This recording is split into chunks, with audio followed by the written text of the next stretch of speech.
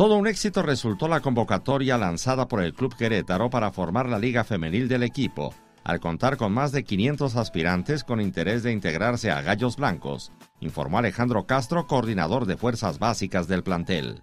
Las visorías se realizaron en las canchas sintéticas de Santa María Querétaro, a las que acudieron cientos de jóvenes para mostrar su pericia en el balompié, a fin de integrar el primer equipo femenil del Querétaro.